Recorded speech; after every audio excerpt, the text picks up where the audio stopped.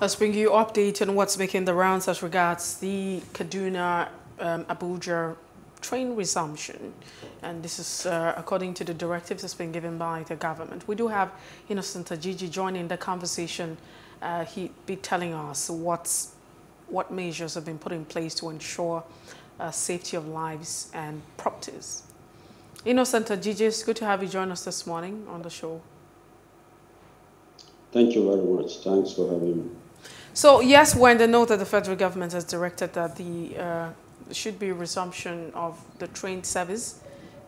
Can you bring us up to speed? What are the measures that have been put in place by the government to ensure that lives are protected? We still also know that um, you have some citizens in captivity of, uh, I mean, they are also still in captivity of these terrorists. Uh, thank you for the opportunity given to speak at this moment. Uh, in fact, I believe it's an opportunity for me to clear the atmosphere over a lot of things that are trending.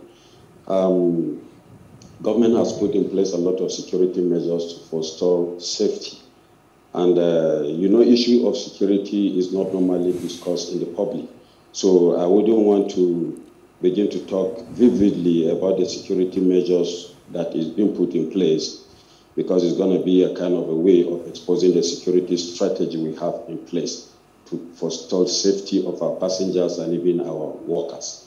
So, but before I go further, I would want to use this opportunity to condole and to sympathize with the family of those that are still in captivity. Of course, it can happen to anyone, and it can happen to me also. Nobody is safe as far as this country is concerned. But uh, I wouldn't uh, be happy when issues are politicized over the running of the train that is uh, coming up on the 23rd of this month. So what are the measures that have been put in place by the government to ensure that lives are protected and those who would be um, using the train are safe?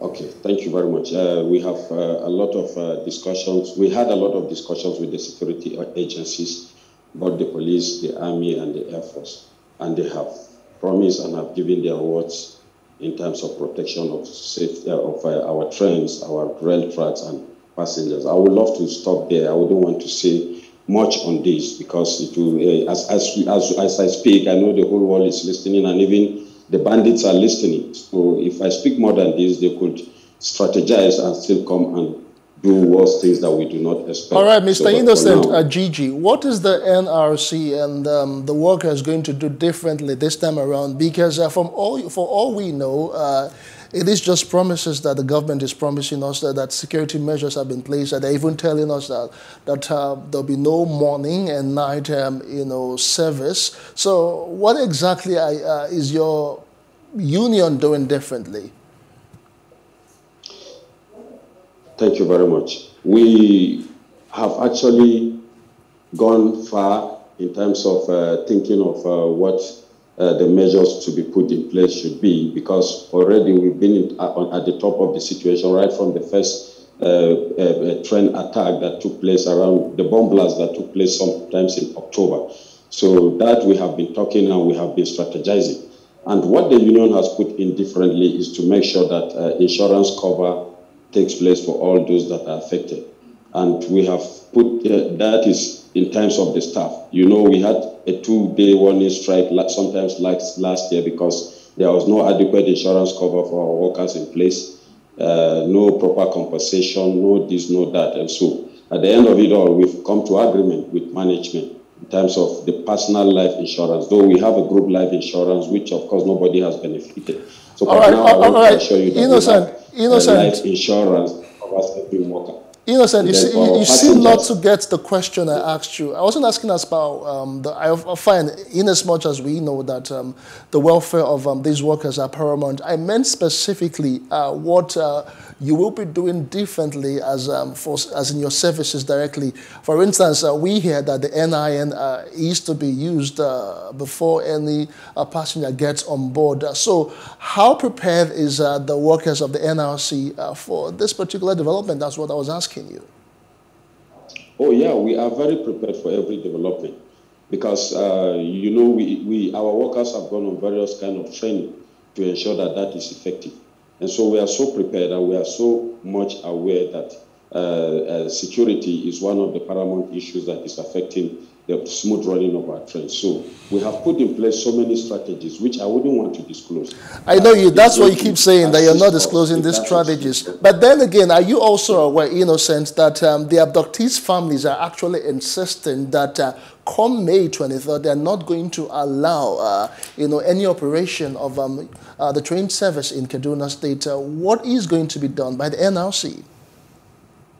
Okay, thank you very much. You see, these families that are talking in this manner, in as much as we sympathize with them, but we will not support that because the, there are killings every day on the road. Have the family come out to say there shouldn't be running of motor cars on the road? These Chibok girls we are talking about, it's over eight years this year. Have, have they closed all the schools in, in Northeast because of insurgency? Except if we want to close the entire country, then they should continue to insist. Is it because those that are affected on the road and other schools do not have uh, families that have access to social media or the, the, print or, or, or, electronic media that they will be talking in this manner? It's not fair. They are not even fair to railway workers at all because if you insist that we must not run train, then it means they have prepared another job for railway workers to go and do. Because certainly government will not be keeping people that are doing nothing and be paying them salary for doing nothing. So they are not being fair to us. We want this family to understand that this issue of security affects everybody in this country. And we want them to understand that, in fact, it affects me directly because one of the drivers that is still in captivity happens to be my colleague. We worked together in Bauchi before he was transferred to Abuja. He has been so close to me. I have done a lot of things and a lot of efforts to meet with the family and even uh, the, the, family of the other uh, um, staff and members of ours that are in, still in captivity. So we are directly affected equally. And we never can tell who will be the next victim of this attack. So I want the families of these uh, kidnapped uh, uh, people to understand that in as much as, uh, uh, uh, um, except if, if we agree that the country should, should, should not move forward, because it affects everybody. You are even in your house, they'll come and kidnap you. So talk more when you're on the road or when you're on the track. So I want them not to politicize this issue because they have access to electronic media and because they are connected or because they are children of the big. Children of the of the poor have been kidnapped every day, but nobody has come up to say stop running of cars in the, on the road, stop uh, uh, uh, opening schools or allow schools to, to continue. So innocent, innocent. Because that's our only source of livelihood. Yeah. Well, thank you so much, Innocent Ajiji, for being part of the breakfast this morning. We do appreciate your time and your thoughts as well on the show. And of course, uh, fingers are crossed, would definitely follow up with development as they come. All right, uh, that's um, the size of um, the show for today. Uh, a very big thank you to you for sitting back and um, watching us, and of course, um, to all of our guests that joined us today. We say um, a thank you, a very big thank you, all the same. My name is Justin Akadonye. Uh, the breakfast returns again tomorrow. If you missed out on any part of it, it's all right to follow us on Facebook, Twitter, and Instagram, and do subscribe to YouTube channel. We are at Plus TV Africa and Plus TV Africa Lifestyle. I am Mercy Ebokpo. Have a great day.